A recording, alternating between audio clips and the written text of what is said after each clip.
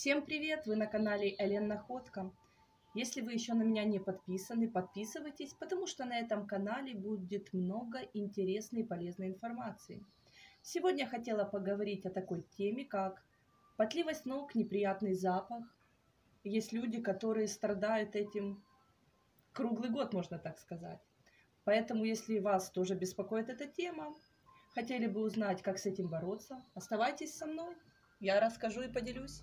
Хочу начать с того, что если у вас сильно потеют ноги, нужно как можно быстрее выявить причину сильного потоотделения. Для чего? Для того, чтобы исключить серьезные заболевания.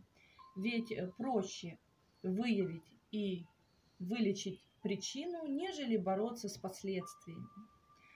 Ну, начнем. Например, что можно использовать? Утром и вечером обмывать ноги можно соленой водой. Что для этого нужно? Одна чайная ложка соли, растворяем в стакане горячей воды, остужаем и этой водой мы моем ноги. Летом можно пробовать два раза в день перекладывать пальцы ног свежими березовыми листьями. Думаю, это такое доступное. Покупать не надо, у кого где растет береза рядышком. Пробуйте, делайте. Э, что, например, делаю я, что использую? использую? Э, мне, например, помогает вот дегтярное мыло жидкое. Два раза в день, утром и вечером я просто мою ноги жидким дегтярным мылом. Еще такой есть вариант. Лавандовое масло. Просто эфирное лавандовое масло. На чистой ножке берете пару капелек и мажете стопы ног между пальчиками лавандовым маслом. Мало того, что вы будете пахнуть, но еще и будет такой помогающий эффект, который необходим. Но не забудьте потом надеть хлопковые носочки. Второй вариант. Кокосовое масло, опять же, используем. Да, много где оно применяется, такое универсальное. Я вот люблю такие универсальные средства, которые можно использовать не в одном направлении. Что нужно? Взять кокосовое масло и опять эфирное масло. Только на этот раз уже чайное дерево. Пару капель чайного дерева добавляем в кокосовое масло. И опять же на чистые ножки, сухие, кокосовое масло с эфирным маслом чайно, чайного дерева, чтобы не заговориться. А, втираем ножки. Что использую еще я? Вот такой кристалл. А, у меня уже была информация по поводу этих кристаллов. Это натуральный дезодорант, который используется для рук, для подмышек. Но что еще я делаю?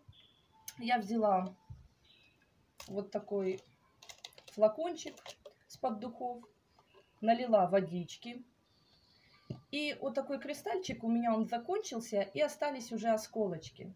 Он когда кончается, он уже такой маленький, им неудобно пользоваться. Я его не выкидываю. Я растворила вот в этой воде. И потом эту воду с этим кристаллом, вот растворился он прекрасно. Опять же, на чистые сухие ножки я просто брызгаю. Вот такой еще вариант. Но если у вас уж сильно потеют ноги, ну бывает, многие страдают этим.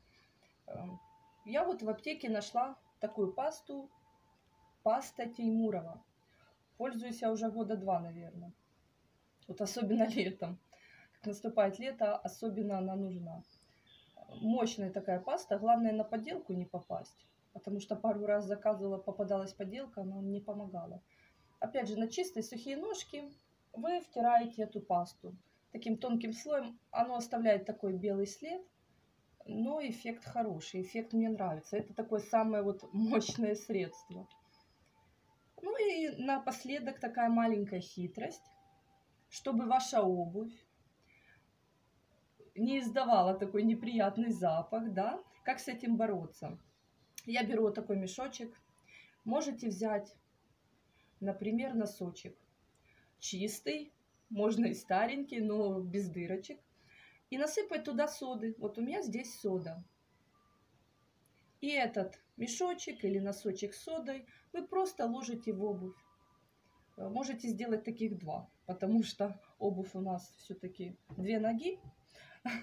Вот, вы знаете, помогает, неплохой такой вариант. Сода, она впитывает неприятные запахи, и обувь потом не так уже, можно сказать, воняет. Так что вот такие вот средства я использую, я пользуюсь, практикую на себе. Хотела еще сказать за этот кристалл. Э, кто не смотрел, у меня есть видео за этот кристалл. Э, там более подробная информация, где его еще можно применять, как им пользоваться. Я под этим видео в описании скину ссылочку на вот этот кристалл. Будет интересно, смотрите. Ну и опять же, всем всего хорошего.